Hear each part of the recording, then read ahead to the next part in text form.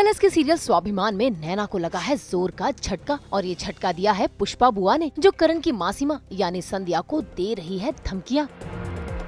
दरअसल पुष्पा चाहती है कि संध्या करण और सावरी के हाथों घर में गणपति की स्थापना कराए और सावरी को अपने घर की बहू बनाए।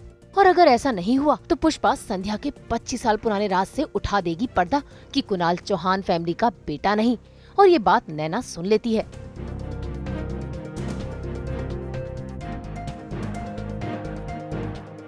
की चिंता मत करो। तुम सिर्फ़ अपने बेटे कुणाल के बारे में सोचो। क्या होगा जब इस घर में पता चलेगा कि कुणाल चौहान परिवार का खून है ही